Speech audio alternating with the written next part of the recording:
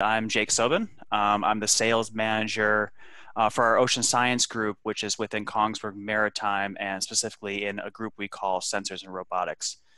I would first and foremost, I'd like to welcome everyone, and uh, I would like to say a, a, big thank you to Gwen for setting this up. Um, we're very excited to be a industry member to Scripps. Uh, we hope this is one of several opportunities we'll have to highlight not only our current technology, um, but what we're uh, some of the technology we're planning to develop. Um, we see this as a, a, really good opportunity to talk to researchers at Scripps and get your feedback on what technology you're currently using and what are some of the barriers of technology that's not already out there. Um, what can we be developing in order to make your research even more successful? So hopefully, we'll today is going to be a little bit more of just a high level introduction um, but we would like to have some dialogue today and have that continued dialogue. So today I'm going to go ahead and give a very brief introduction because um, we would like to save most of our time to talk about uh, our current products. We're going to break up our presentation into four segments. Um, we're going to start off by talking about acoustics, active systems. These are going to be our ocean science products, uh, specifically our echo sounders that are used for um, fisheries research, and underwater science. We're then going to jump into scientific research vessels. Uh, the focus here is going to be on uh, multi-beam echo sounders and mapping. Then we're going to cover a number of different products when it comes to positioning, navigation, and communication. And we're going to end the presentation today about one of our uh, popular product lines, marine robotics, and talk about the Hugin AUV, as well as some some of the technology we have advanced uh, for surface water vehicles. And uh, how this is going to work is we're going to have presentations uh, each for these segments, um, but we're going to have a break. So we make sure there's time for questions. So please do use that chat feature. Um, we look forward to getting your questions not only during these breaks, but also at the end and after the presentation. So very quickly, uh, if you're unfamiliar, Kongsberg, we were a leading global technology company. Uh, we supply high, techno high level technology solutions um, to a number of different fields, whether that be marine, defense, oil and gas, and what we're gonna be talking about today, scientific research. In 2016, we celebrated our uh, 200 year anniversary. So we've been around for quite some time. Um, currently, we're at about 11,000 employees and 40 and in 40 different countries, so very much a global company. We're split into three business, oh, there it goes, three business areas. Um, we're not going to talk much about Kongsberg Defense, but so you're aware, this is the, the Navy vessel and um, uh, this is a, a weapon control systems for Navy vessels and air defense. We'll touch a little bit on Kongsberg Digital. This is the, the sort of the new frontier of software needed uh, for digital solutions to customers within uh, maritime and oil and gas. So we'll, we'll, get a little bit into that. But where our focus is going to be on is the, the maritime, Kongsberg Maritime. So it's a very rich blend of products we have in Kongsberg Maritime. Um, the first fact I'll give you is that we're on more than 18,000 ships, um, whether that be uh, fishing vessels, ferries, offshore, and of course the, the research vessels. Uh, sensors and robotics is what we're going to talk mostly about today. This is the platforms for underwater science, um, the sensors for underwater science, mapping. Um, but we're going to get a little bit into the integrated solutions and, and a couple other things we do in, in Kongsberg Maritime. So we look forward to talk to you about that. Uh, so I want to give a quick brief overview of Kongsberg Maritime offices. Again, we are very much global. Um, we're headquartered in Horten, Norway. This is our main manufacturing facility. You can see a picture there um, in the middle. Um, this is where we manufacture underwater navigation, echo sounders, sonars, and autonomy. We'll see for AUVs we'll all present on today. The rest of our offices worldwide um, support these products. So in Houston, we have a a rich history of, of supporting the offshore industry, whether that be for dynamic positioning um, or any type of acoustic telemetry. So we'll, we'll, have a, we'll have a presentation on that today. In New Orleans, that's one of our training facilities, uh, very unique that we're able to train a number of customers on our, our products. And last and certainly not least, uh, is our Seattle office in Lynnwood. This is Kongsberg Underwater Technology. Um, you may be familiar with us. We've done a lot of support for products um, that go on the UNOLS. Uh, we'll have a couple slides on that, and that includes uh, the Sally Ride and the Revelle. So we look forward to presenting today and don't want to take up any more of the time. I would like to introduce um, Jeff Condonati. He's our senior sales manager uh, for, for Ocean Science, and he's going to talk about our acoustics, active systems, and underwater science. So, Jeff, can you come off mute? I'm off mute. Can you hear me? Sure can. And I'll go ahead and see if I can mute myself and I'll drop.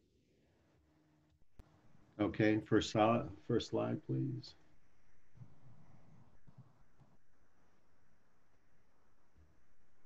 Okay, thank you very much. And uh, Kongsberg is very excited to be an industrial partner to Scripps. And we've had a history with Scripps uh, way back in the day, starting with our, our first uh, echo sounder. And when I refer to echo sounders, I'm talking about a single beam calibrated echo sounder used primarily in fisheries research or measuring position or density of targets in the water column. We started in 1988 with the first commercial or first scientific research sounder called the EK500. And actually, this was used at the uh, Southwest Fisheries Science Center on uh, some of their research vessels. 2001, we came out with a new design, the EK60, called the General Purpose Transceiver, GPT. And this was able to simultaneously sample multiple frequencies and also calibrate, and it was PC interfaced. In 28, 2016, we came out with a new EK80, which is uh, a wideband transceiver. So we have split beam, a broadband, echo sounder measuring fish densities and items in the water column. We also recently came out with the EK80 ADCP, which has the same interface as the EK60, and that is our newest product, which I'll discuss in a bit. Uh, next slide, please.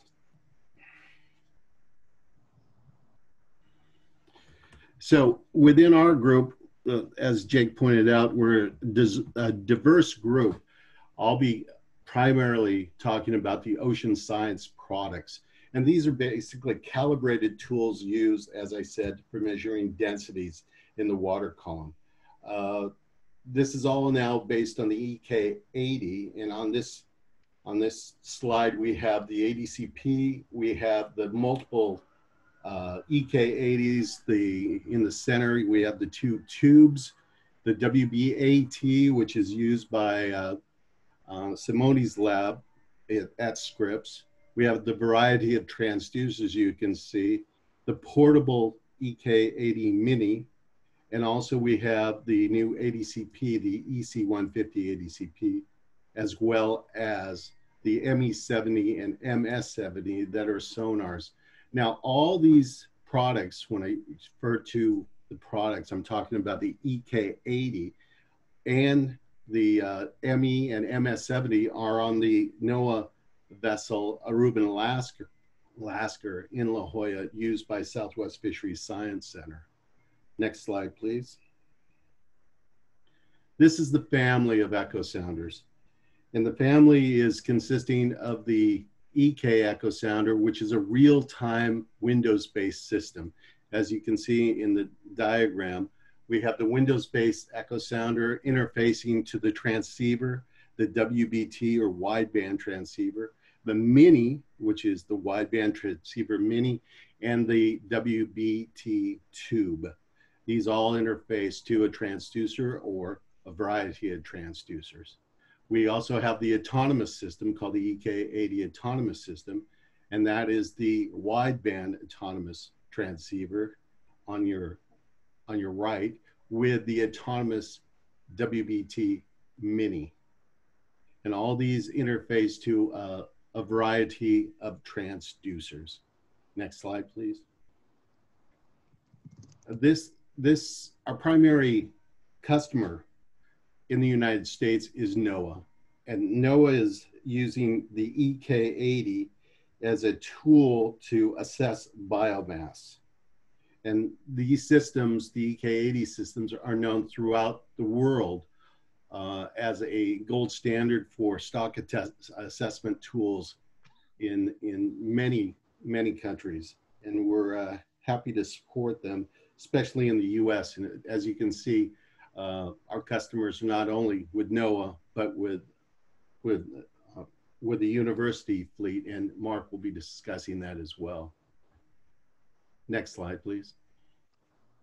This is a matrix of the transceivers and again, these slides will be available to you, but you can see the diversity of the transceivers from the WBT, which is basically shipborne system, to the WBAT, to the autonomous system, um, to the tube, and to the mini.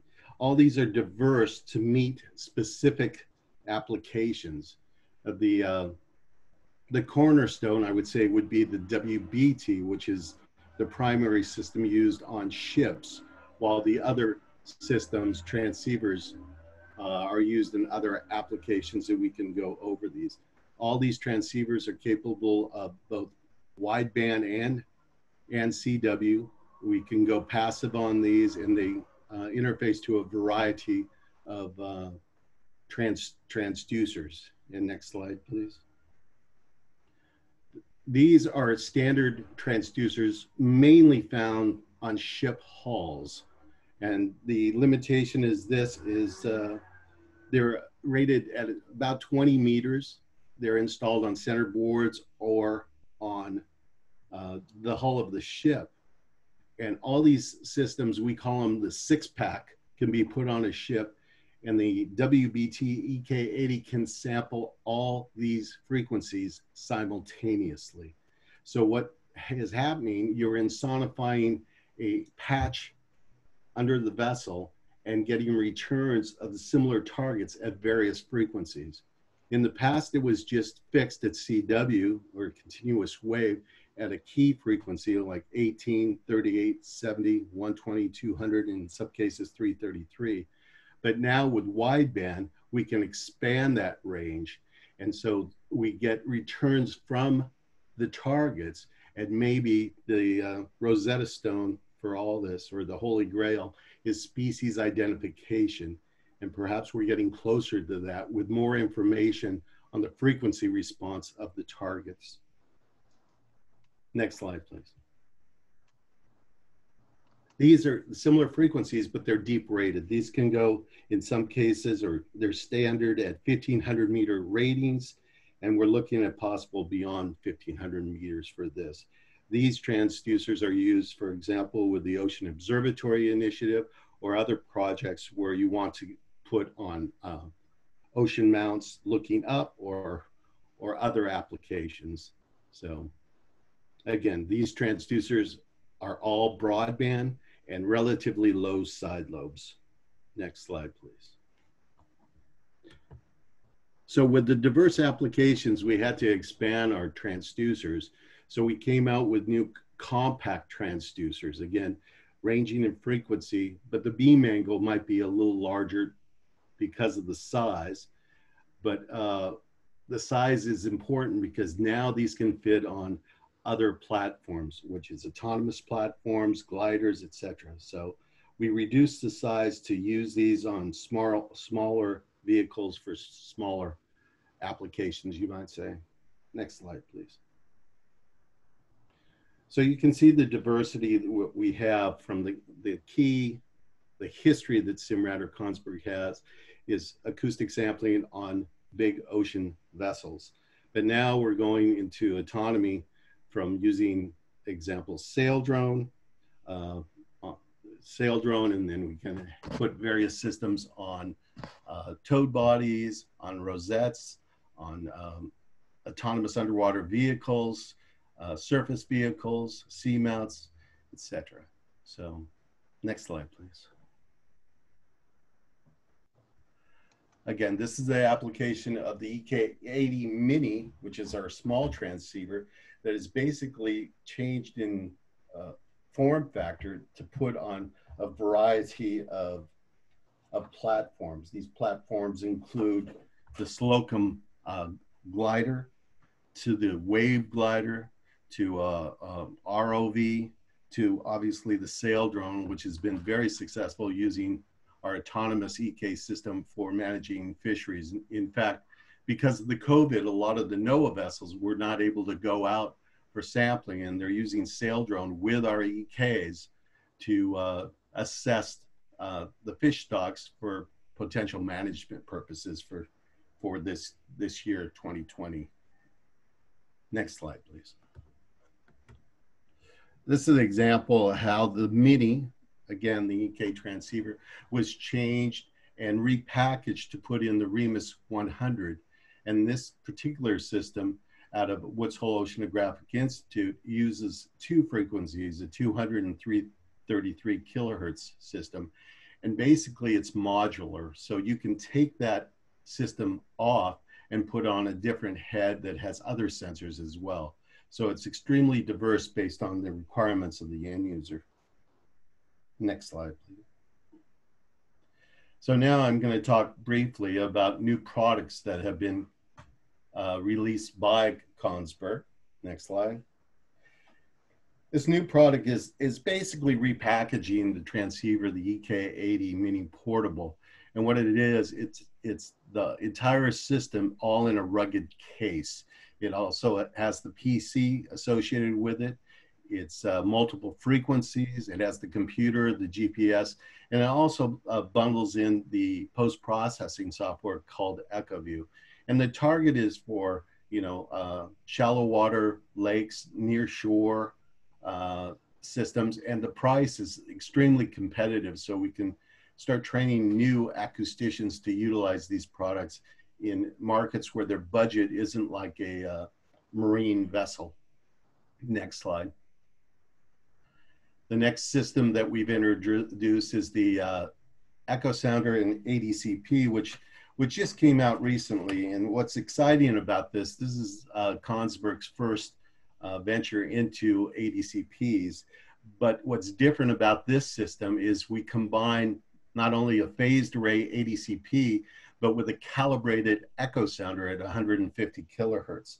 So this is opening up a lot of opportunities for researchers to look at uh, direction, water direction or movement using the ADCP and correlating that with the fish behavior utilizing the quantitative calibrated echo sounder.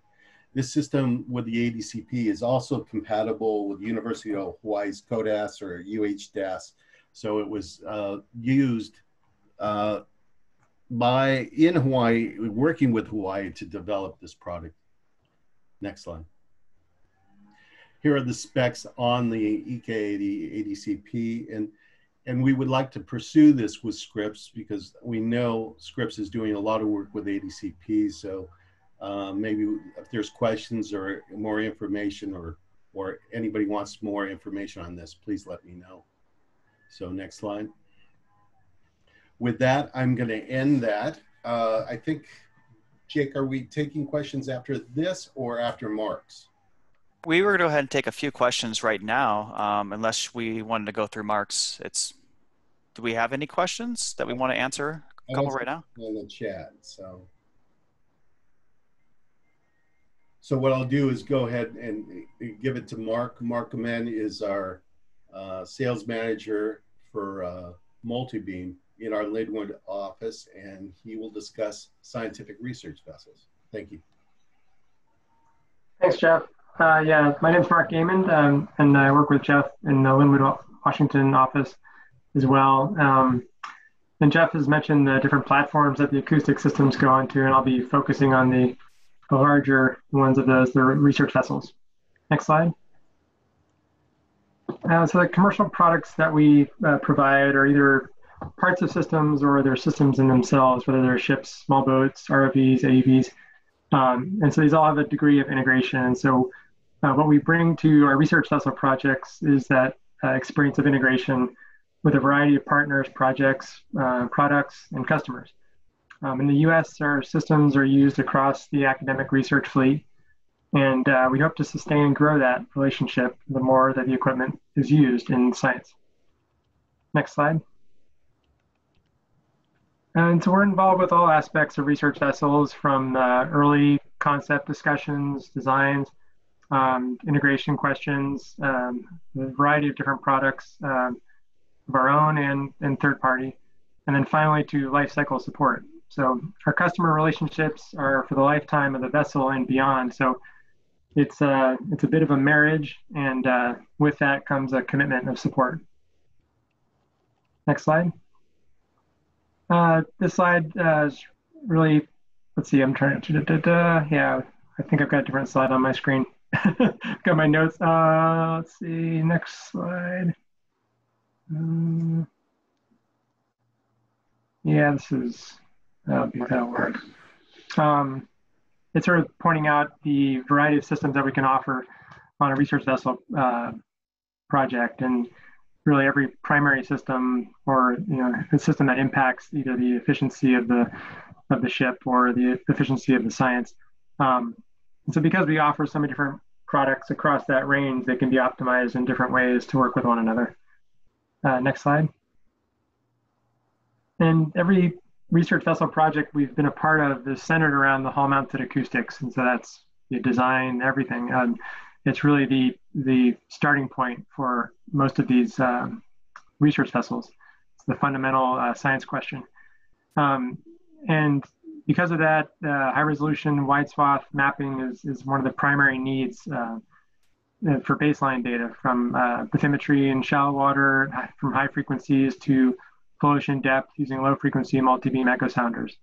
Um, and these, by their nature, are integrated systems that require inertial navigation uh, inputs uh, for very high quality data, uh, sound velocity measurements at the surface and through the water column. So it, it, incorporates the science sensors that are used for different purposes. So you could have a science seawater system uh, sampling the, the uh, sea surface for, for chlorophyll or chemicals, um, but it's also feeding the multibeam.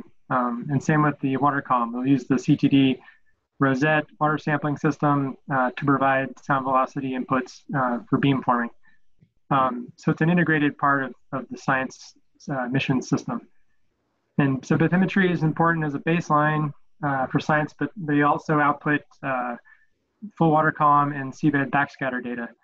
So as much as you get bathymetry, you also get additional information about what's what the seafloor texture is like and what the, what's in the water column.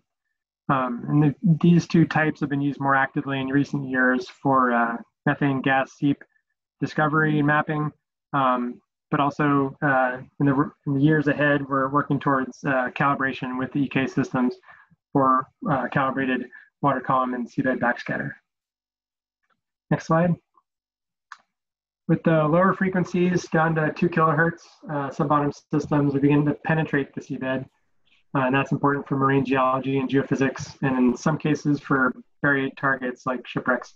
Um, we have a variety of products in the low frequency range optimized for different depths and different vessel types, um, from the shallow water low power uh, geopulse compact system, which can fit inside a, a small uh, plastic unmanned remote control boat, um, down to the higher power low frequency systems on ships, the SBP model, SBP29 uh, that's integrated with the hull-mounted multi-beam system. Next slide. Uh, so our multi-beam echo sounders, sub-bottom and EKs, and Brett will soon be speaking about the HIPAP, are used across the UNOLS fleet uh, for Scripps. Uh, you guys are the on the bleeding edge. So uh, Revelle and Sally Ride are, are carrying the most recent uh, systems we have. Revelle is in the, in the, process of being upgraded. Um, to an EM124 from an older EM122 low frequency multi-beam system. Um, and they're adding a EM712 uh, shallow water system to that. Uh, we're hoping to upgrade Sally Ride in the coming year also to a 124 and with the addition of, of a SVP three degree sub bottom system. Um, uh, recent uh, deliveries to the UNOLS pool are with the deep submergence facility, Woods Hole. Um, they've recently integrated uh, high frequency multi-beam on Sentry. Uh, I've already done some science dives on that. And then in the last few months have purchased multi-beams for uh, Jason and Alvin. Um, so they're gonna bring some advanced features to deep sea mapping research, such as uh, 600 and 700 kilohertz uh, bathymetry and backscatter, as well as multi-frequency backscatter, where you can you can collect a variety of different frequencies and pulse shapes um, as you survey. Next slide. Uh, our CRD project is one we're really proud of uh, to be a part of as the uh, acoustic system integrator. Um, these uh, involve not just our own sensors, but also third party, as well as the, uh, the visual uh, displays for the science lab. So um, researchers will be, will be writing these in the years ahead. We'll be using our, our layout for better for worse. We'll find out how it works out, but it's, we're, we're intimately involved with the project. So, you know, as, as it goes and as it evolves, uh, there'll be some tweaks here and there, but um, these are claimed to be the most advanced UNOL ships ever built. Um, I'm sure Scripps would like to say that Revelle and Sally Ride would be even better, but um, these have been designed from the ground up to be sort of always on uh, platforms. So the sensors will be transmitting data um, all the time. That's the idea. Uh, next slide. And uh, last, I just want to um, put up a slide above the uh, current map of the ocean. Um, something we're, we're proud to be a part of is the Nippon Foundation GEBCO Seabed 2030 initiative. Um, we're actively participating in this effort and seeking ways to more effectively utilize our systems and the data that they collect. Um, and this includes developing software uh, with uh, collaboration with Kongsberg Digital uh, so that our, our systems and the data that they collect uh, can more effectively work over remote connections uh, to autonomous vehicles, as well as supporting cloud storage and, and processing.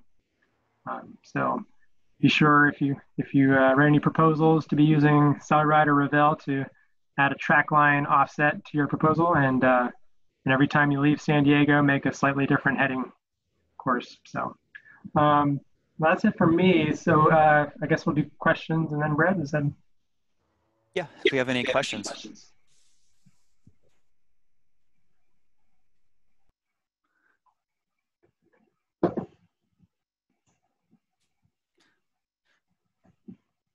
You had the one question in chat that was answered, but that was what is the beam angle for the transducers for the EK80 systems? And the answer was that it varies based on frequency. Most transducers have a seven degree beam angle. We have also have the smaller transducers with 18 degrees beam angle. Okay. Thank you for that. All right. Um, Grant White who's be speaking about. Uh, there you go. Underwater positioning and communication. Thank you, Mark, and good day to everyone. Um, uh, as Mark said, I'm um, Brett White, sales manager for um, sensor and robotics, uh, underwater positioning and communications. Um, you can go to the next slide, Jake. Um, I'm, I'm going to talk about uh, our HiPAP and the capabilities of the HiPAP, which we can have. Um, you can do um, SSBL, or maybe you've heard it as USBL, which is uh, ultra short baselines or super super short baselines. You have uh, long baselines. You can actually do multi-user, where you have multiple vessels using uh, uh, a single array. Uh, and you have uh, the capability of uh, ROV tra tracking, towfish tracking, and uh, actually communications as well. Next slide. Uh, we have, uh, this is our different hull units that we have available, and the, the 2180 denotes the length of the deployment shaft, and our standard, our standard hull unit is the 3770. Uh, we like to, or we recommend at least um, at least three meters below the hull to get the full optimum of the uh, opening angle or opening beam of the HiPAP uh, 500 transducer.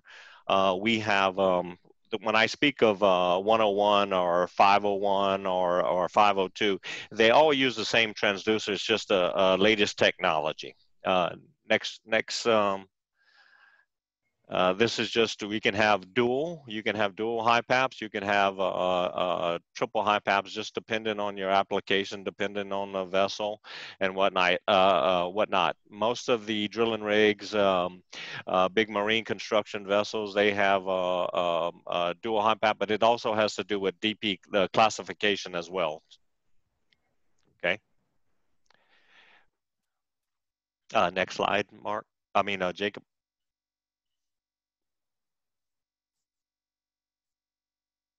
Uh, these are uh, the, when we speak of the transducers, we have the HIPAP 502, which is the same transducer. There's 241 elements. It's spherical.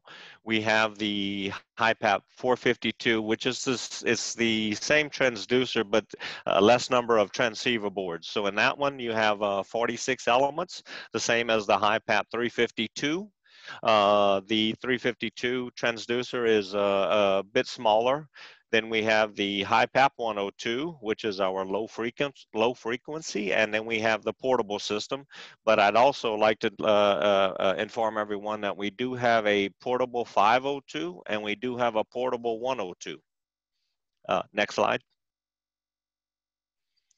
Uh, this is the um, uh, the um, just covering the um, open angle of the uh, transducer, the capability, the operating range has gone from 3,000 meters to 4,000 meters. Now the 502 is actually 5,000 meters slant range uh, uh, system. Uh, you can see the uh, range detection accuracy, which is very good. Uh, the HIPAP has a really, Kongsberg does a really good um, um, and and the range detection uh, uh, and angle accuracy uh, with with the 502. Uh, like Jacob said earlier, there's um, there's at least 2,500 vessels with HIPAP systems on board, and one of the reasons is it is the standard or it is the gold standard of hydroacoustic systems. Uh, next one. Uh, same thing with the 352. We're talking about the operating uh, angle is plus or minus 60 degrees. On the HIPAP 500, it is plus or minus 115 for a total of 230. Same thing, this one is a 5,000 meter uh, um, uh, range or slant range. Uh, range detection is the same and angle accuracy is a little less on the 352 than the 502. Next. Oh, and I'd like to mention that the HIPAP has automatic beam beam steering, and for for what I mean, if you're if you're on the starboard side of uh, your whatever your towfish or behind you, all your elements are listening. Uh, all the elements in the in the transducer are listening, but only a certain element uh, certain elements are actually being u- utilized for the positioning. Uh, this is the 452. It is looking straight down. There's uh, a few vessels that do have the HIPAP 452 installed, and that's because they are just concentrating on what's below them. So they're not using all the uh, elements. Uh, but if they do need to upgrade to a, four, uh, a 502, then it's just a matter of adding six more transceiver boards into the transceiver. Uh, next thing, uh, next one, yeah. There's our portable system. It was uh, uh for vessels of opportunity, um, you know, mounted on an over the side uh, um, uh, pole. it's it's you know mainly for like I said, towfish tracking, ROV tracking. Um, it, it's um, the it can have a um, laptop or it can have a desktop. Um, either one, and and again the same as the the 102. Um, I think that was more of um, uh, on a 102, you're going to use that more for uh, AUV tracking or deep water towfish or or um, uh, and same as a 502 for AUVs and and whatnot. The 352 you can use it, but it is more for um, ROV diver diver tracking, uh, towfish tracking and whatnot. Okay, and we have a well, I, I, didn't. Let me just uh, touch on the 352 portable and the 502 portable. They also come with a, a an INS. These have built-in IM uh, or MRUs, but you can actually get it with an uh, uh an INS system, meaning there's uh, it'll give you pitch, roll, and heading. This one here, the standard um, 352P, will will have a MRU, and it'll only give you pitch and roll and, and, but it won't give you heading so you'll have to interface heading uh, gyro into it. it it with the ins it saves you on time uh, uh, or saves time as having to do a calibration. You can do a spin check to check your offsets and whatnot but that's the good part. If you put it out 180 degrees you'll know it. You, you know you, you don't have to worry about it. You can still go out and do your uh, uh, towfish tracking, whatever you have to do. Uh, a full-blown calibration is required, is only required um, on the project or the accuracies of the project and whatnot, but it's pretty much calibration free. Uh, next, next slide. Uh, as you can see, the portable system can uh, be tilted up to 90 degrees back for towfish tracking. Uh, you'll have to have a flange and uh, and if you are going to tilt, if you are going to tilt it back on a, with a, uh, a, a portable system that doesn't have a, a, INS system, then I would recommend a calibration, a, a full blown, blown calibration. Other than that, when you have an INS, again, you can just throw it in, throw it on, and you can have um, 22 degrees. We've had we have some tilt back flanges, uh, but we have uh, in in uh, in um, in, in instances where uh, very good results uh, when it's mounted at 90 degrees, believe it or not. Uh, next one. Uh, that's our 102, uh, deep water, plus or minus, uh, 60 or 120 degrees. operating range is 10,000 meters. Um, again, this is for deep water um, exploration. a lot of it is um, research vessels. Uh, our AUV tracking for the uh, our deep water, our 6,000 meter and 4,500 meter uh, AUVs. Next slide.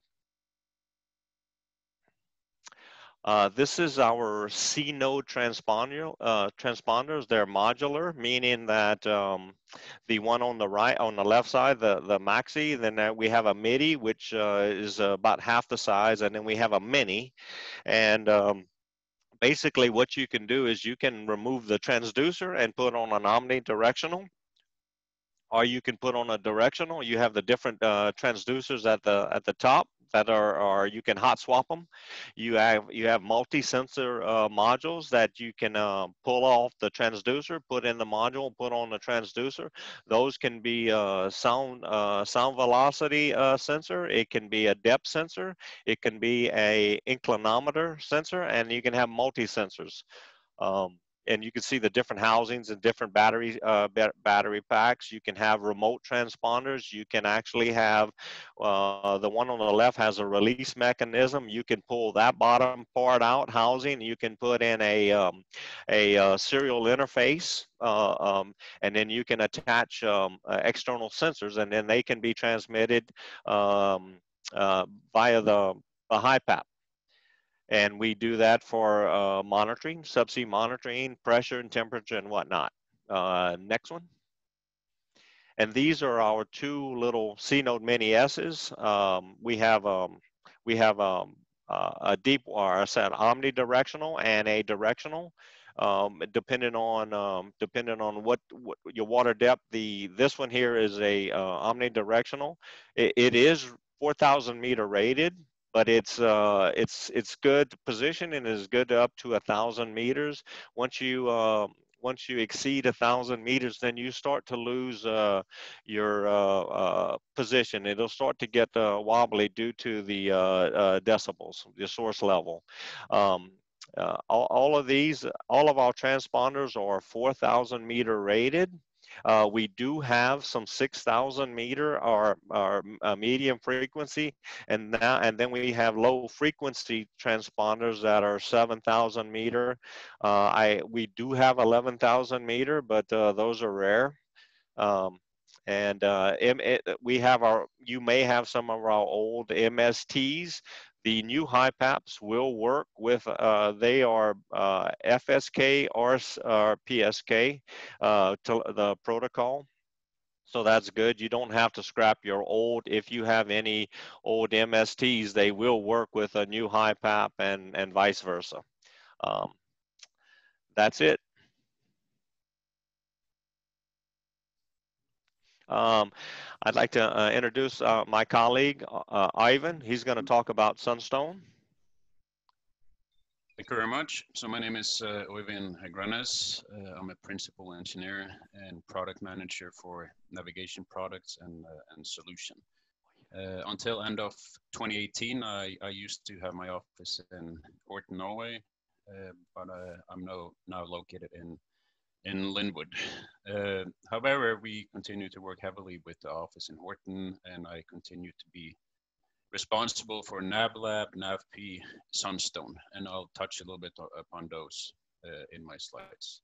It's a brief um, introduction, only four slides. Um, if you're interested, uh, the navigation part is probably one of the most published topics from Kongsberg, and uh, I looked at my list and I found I found seven dozens of publications from our group, some book chapters, PhD reports, but mainly proceedings and article journals. Uh, but there's a lot available in the public domain if you look.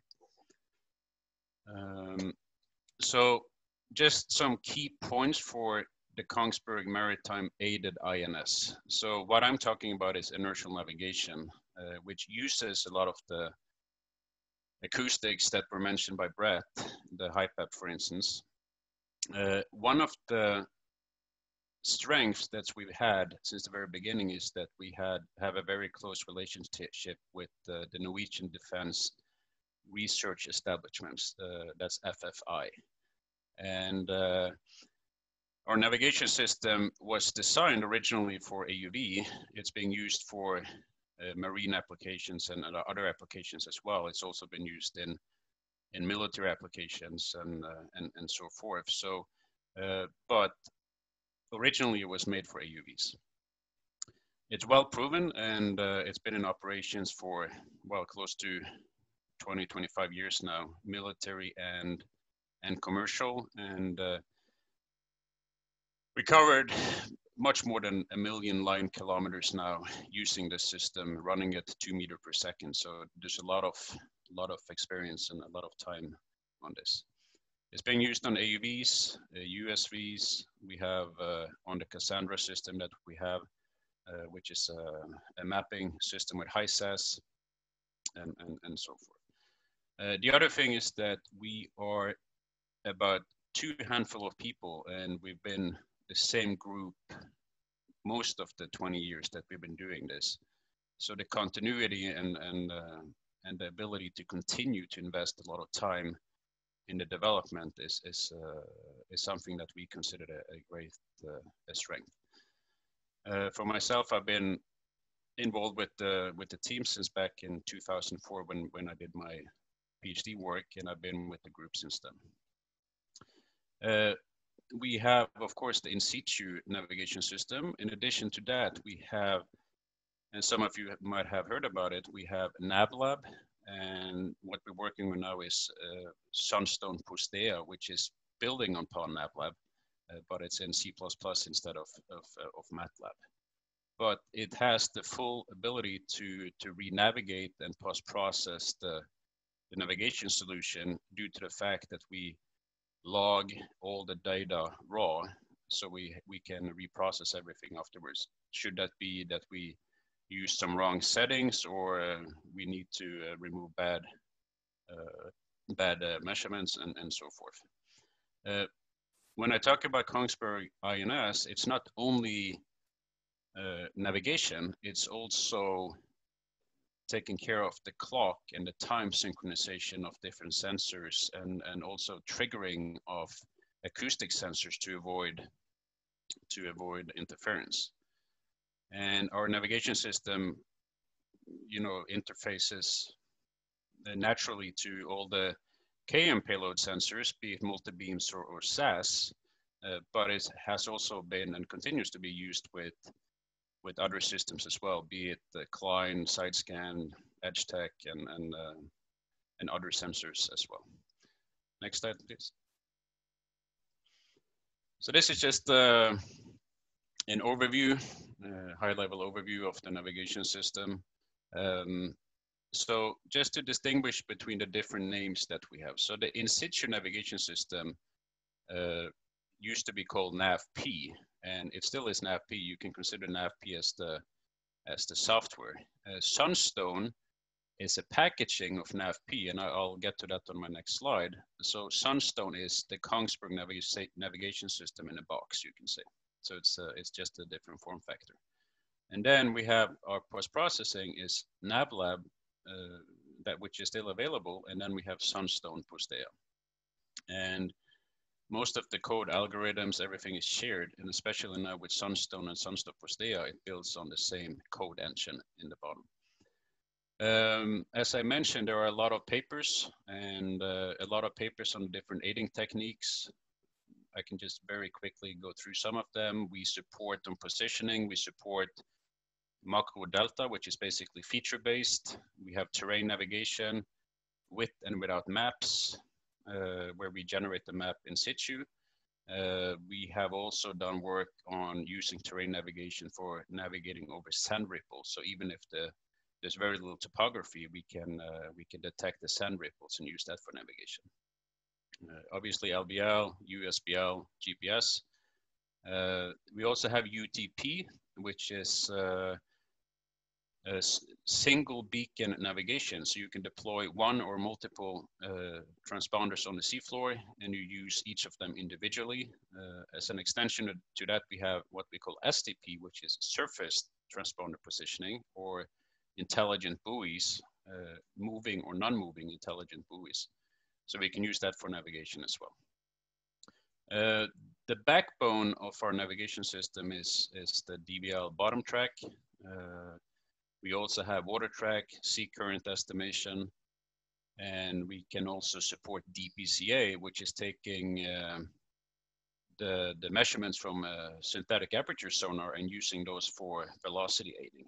Um, so that's very accurate as well. Uh, the last thing we also have is um, vehicle uh, aiding, a vehicle model aiding. So we can have a, a, hydrodynamic model of the vehicle and we, we can use that for aiding as well. Okay, next slide, please. so this is the Sunstone uh, unit. And uh, as I mentioned, it's uh, it's kind of Kongsberg INS in a box. It's uh, it has the size about like an Apple TV, like an external hard drive. So it's fairly it's fairly compact, uh, and it's been integrated in Hugin and uh, and in all the Remus AUVs that are using using NAVP, they're using this box now. So, uh, so it is an industrialized product. Uh, initially, it was an internal product within Kongsberg, but we can provide this product to to other external parties as well you know based on uh, based on discussion so uh, so we're open to providing this and uh, scripps would obviously be you know a potential uh, partner uh, to to uh, to try or to use to to use Sunstone. As I mentioned, it's the navigation. It has trigger control and it has the time server time sync functionality. And the Sunstone name there's a story behind it, and some might have seen it before, but uh, it used to be like in uh, Norse uh, navigation tool thousand years ago. So uh, so it has a has a story to it. So next up, please. So this is just uh, summarizing some of the Sunstone uh, features and technical uh, uh specification. Uh, some of the features I mentioned already. Um, Sunstone is a processing unit, so there's no IMU inside Sunstone. Uh, so it's a processing unit and uh, the time sync is basically provided, or we, how it's done is that uh, Sunstone can time sync to GPS or to network-based uh, time, and then it can also distribute uh, one PPS or network once you're subsea. So, uh, and you do this to your multi-beams, to your uh, your payload sensors or other subsystems on on on the on the vehicle. Um, some uh, technical details. We also have a lot of flexibility to uh, to include new sensors, and we have and will continue to do so with customers based on uh, on particular needs. It, it's a very flexible system, and we also have a global, uh, like a Google protocol buffer interface, uh, which allows, should you have a system running ROS or something else, we have an interface that with an uh, API that you can use to send us network-based data, and we can take that in, and we have interface for a lot of different uh, generic uh, inputs, be it the position, velocity, and, and, and so forth. As, as I said, dimensions are like uh, external hard drive. We have uh, five volts, one, one five volt option and one eight and a half to 14 volt option. Um, and there's a lot of serial line inputs which are fully configurable. So you can configure all of them like 232, or you can have some as 485, or you can you can have a mix. And you can do the same with the, the trigger outputs. And there's some different logging options. We have an API for network-based logging, which if that's that's kind of the recommended one, and and so forth. Uh, a key, and I touched uh, touched upon this just a few minutes ago. A key um, feature of Sunstone and the Kongsberg navigation in general, and that has been the philosophy since the beginning, has been to be able to interface a wide range of IMUs, a wide range of aiding techniques and, and, uh, and uh, sensors, and not tying us down to particular vendors uh, per se. Uh, and that is, you know, that flexibility have been very useful in many cases and projects. So, okay, so that's pretty much uh, it for me. And then uh, the next Speaker is Arnt Helge Olsen. He will talk about the Kongsberg communication and the MBR uh, radio. Hello, can you hear me, Raven? Yeah. Okay, thank you. Uh, I see you have a couple of questions. I understand you're going to answer them on uh, on the chat. Yeah. Okay, so I'm uh, I work with the the Marine Robotics Group, uh, but I took upon me to talk about communication as well and in specific the uh, the MBR radio we use to communicate with some of our surface uh, uh, USVs. Uh, MBR is maritime broadband radio and it's a radio system that uh, is uh, very similar to a very long range wireless system. It operates over 50 kilometers, 31 miles at sea level at very low uh, altitude antennas. If you can lift the antenna higher up, you can reach uh, ranges up to 70 kilometers or longer. Uh, at a specific test done in Bergen, Norway, at the land station, um, the antenna was placed 600 meters on a on a mountaintop onshore, and they, they were reaching uh, 120 kilometers offshore with the same radio. Uh, it uses five to six uh, gigahertz, um, and it can transmit over um, from 0.7 to 16.5 megabits per second, uh, depending on the uh, the quality of the signal coming through. It can be used on vessels. Uh, it can be used on airplanes. Uh, it can be put on smaller UAVs and on personal equipment. Applications, we have uh, used it in hydrography, uh, where we are transmitting the controls and, uh, and screenshots from, uh, from operating a multi-beam from a USV so that uh, a mother vessel or an onshore uh, operator is operating the multi-beam completely remotely. Of course, in surveillance from airplanes, vessels, marine operations on rigs, platforms, infrastructure from uh, shore-based uh, antennas. Um, there's one picture here where you even have one uh, completely uh, clogged up with ice.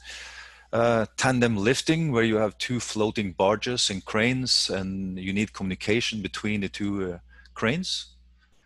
Uh, remote operations um, on vessels, uh, between vessels, fish farming, UAVs, rig moves. You have seismic operations with a lot of um, real estate in the water behind the vessel autonomous USVs uh, and uh, oil spill combat. So there's already a long range of uh, applications this has been used in. And this system has an IP connectivity where you're uh, where you are connecting uh, to the system through a router. Uh, so your your communication system, your video system needs to be IP capable. And of course, you can transmit several uh, types of uh, packages at the same time. So you can have video and, and uh, data and uh, communication at the same time. There's a lot of different uh, types of antennas uh, in the system. we have a sector smart antenna that's 100 degrees and 180 degrees. that can be vessel mounted to cover, with two of these, you can cover 360 degrees. There's a compact uh, Omni smart antenna. We have uh, portable body worn antennas where you can uh, have uh, cameras and communication mounted onto a helmet uh, of an operator. Uh, OEM units um, you can put into your own USV, AUV, or whatever it is. also, UAV unit, very lightweight, small units, and a submersible smart antenna as well. If you like to go and uh, look up and find out more about the system, there is a special uh, MBR website called uh, connectingvessels.com where you can find the product info, descriptions of everything, and also videos and uh, and uh, and uh, more ideas of where where it has been used. So with that, I'm going to move over to uh, yeah, Art, I don't see I don't see any questions, so go ahead and let's move on to the marine robotics. Okay, you can change. And one more. Thank you. So sensor and robotics, uh, that's our department. Um, I work for the uh, uh, MARO Marine Robotics Group. Uh, sensor robotics, we do deliver everything from dynamic positioning uh, and we have done that for a long time. Dynamic positioning in itself is uh, a very low form of uh, autonomy, uh, controlling a, a, rig or a vessel. It's been used for many, many years. Um, navigation bridges, marine automation, handling systems, safety management, cargo handling, subsea survey, construction, uh, maritime training, satellite positioning, and autonomous solutions. And autonomous solution is um, what I'm working with and uh, what I want to talk about for a little while here. Um, our main system has always been and is still the uh, AUV, the Hugin. And uh, the name Hugin is also a Viking uh, expression. It's uh, one of the ravens Odin was using in um, to uh, to go out and spy on on all the people and bring information back to uh, to Odin, the god. Um, so that's why the name is Hugin. Um, we deliver a complete solution for for uh, AUVs and USVs, and with that it means topside we do need uh, to be able to handle the data we get back. Um, in that we uh, we have to uh, handle the uh, multi-beam data, the uh, the camera data, and all process the SAS data, things like that. we have a post-mission analysis software called Reflection. I'll come back to that a little bit later here. Also, uh, on top side, we uh, need to um, have mission control of the vehicle where we control the next mission and also following the vehicle if you want to do a supervised uh, operation. Uh, then you would use the HiPAP to communicate through acoustics to, to the vehicle and have live data coming back through acoustics in uh, in the surface we can communicate through uh, RF uh, or uh, or Iridium or MBR, um, and of course on the top side, that is where you're using the Sunstone Posteo to uh, to uh, clean and filter and reprocess uh, navigation data if you have to. Uh, on the vehicle itself, um, uh, we can say that one of the most important features of the vehicle is the uh, the payload processor because that's why we are sending the AUV down there is to collect data, and the payload processor is um, picking up data from um, from uh, a SAS, from a side scan, a sub-bottom, multi-beam, uh, forward-looking uh, sonars. Uh, it can have uh, uh, magnetometer. it can have different types of chemical and environmental sensors on board and everything is logged at the same time and it can operate at the same time through the the timing system we have on the vehicle and that's where we come to the control and navigation processor which take care of the timing but also the navigation and where the uh, sunstone lives in the vehicle um, the vehicle will collect data from its IMU the uh, DVL GPS while in the in the in the uh, surface and receiving from through acoustics. It will have a pressure sensors, altimeter, CTD, uh, but also now we can receive uh, real-time data back from our payload. The SAS is capable of sending, um, uh, looking because you have overlap over your pings uh, in the SAS. We can use that as a as a correlation Doppler and sending the data back to the from the payload processor back to the control and navigation processor and use that in navigation as well. And of course, we have an output to our motors and rudders and emergency systems and controlling our, our batteries uh, uh, in the vehicle. So it's a complete system, uh, and and all of this is uh, placed into uh, an operation container where you have your operator systems and we have a launch and recovery container with emergency systems, air conditioners, and everything you need to operate and service the vehicle while on board the vessel. Next, please.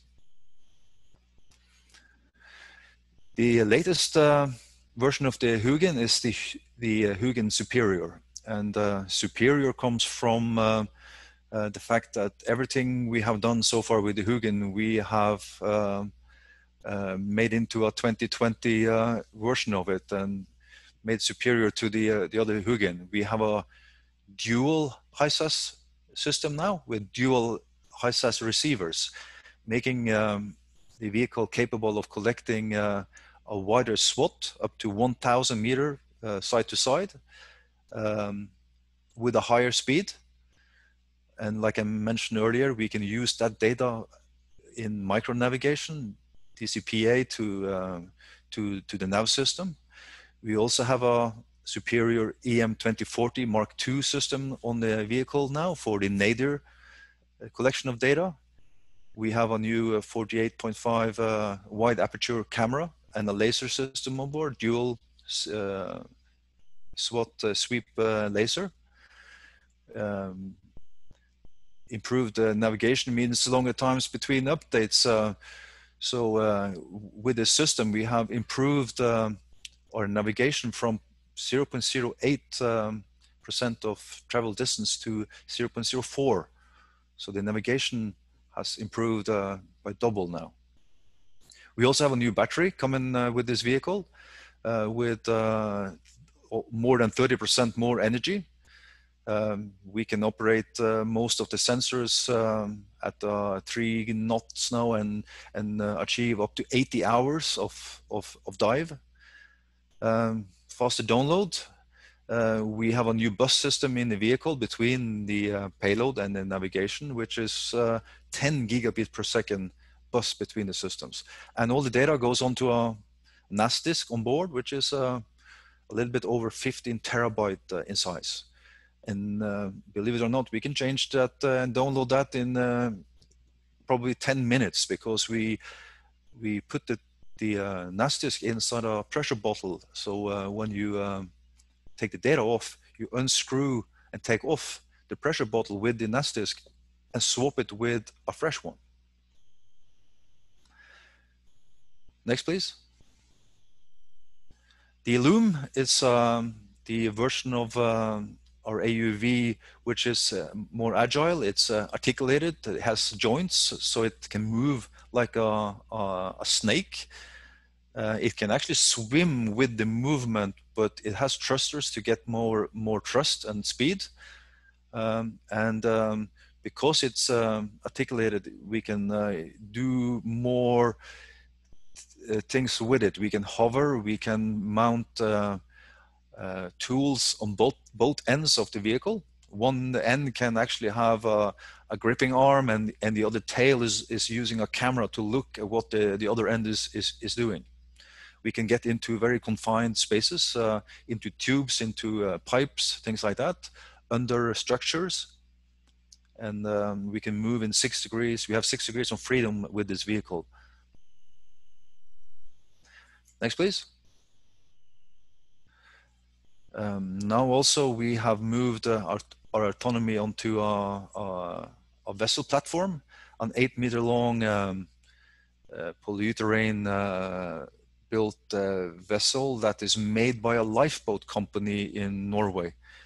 And they build uh, these boats uh, normally to save people. So it's a very strong built vehicle vessel with a, a, a nice hull in the front so when uh, if you if you do hit something, you have a double hull uh, and foam in between.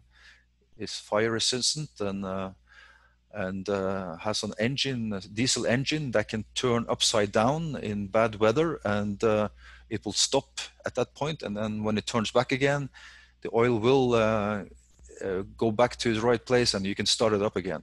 It's, it's capable of capsizing. We can mount um, uh, multi-beam systems on this uh, vessel with, through a moon pool.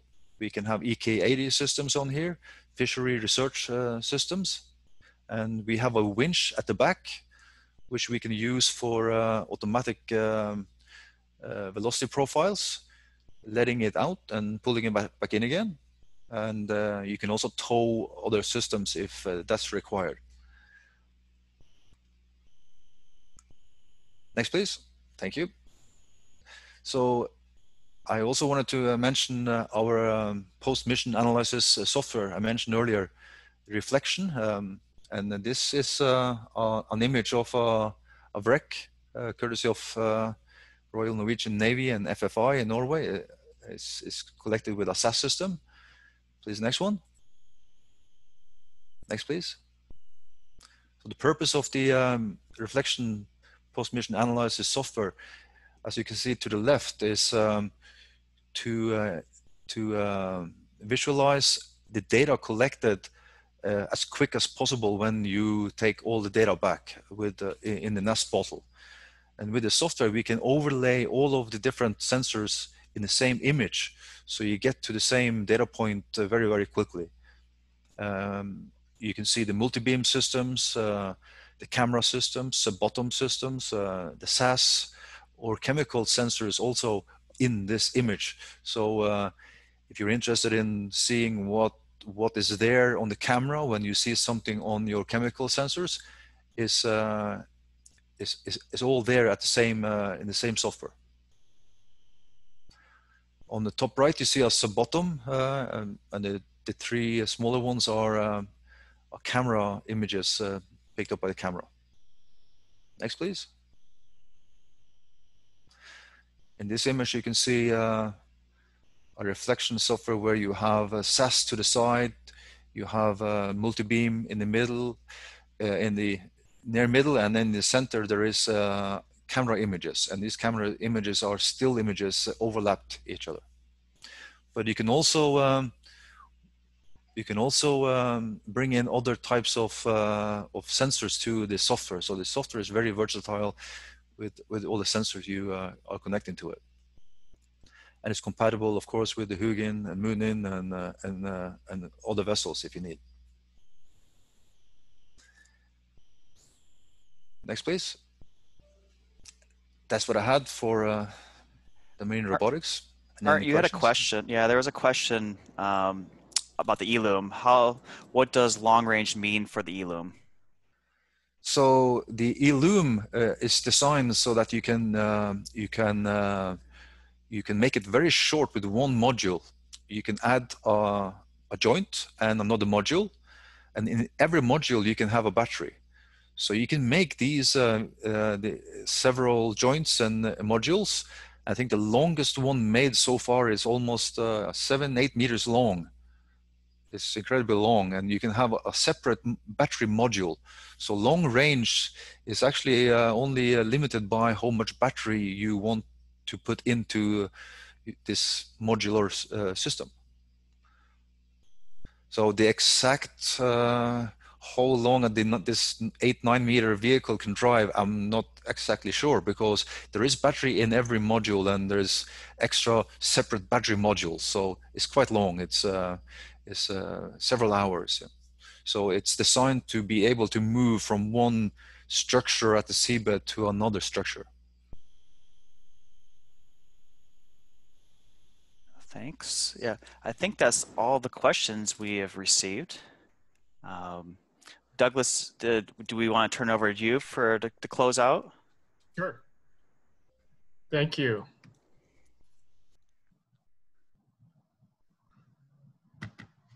So uh, thank you. Uh, I want to thank the team from Kongsberg Maritime for their presentation today. And I uh, just want to let everybody know we're working on bringing additional speakers over the next few months. In August, Riegl Laser System Measurement Systems will make a presentation on LiDAR and its applications. September, we have Geospectrum Technologies Incorporated, and they will discuss underwater acoustics.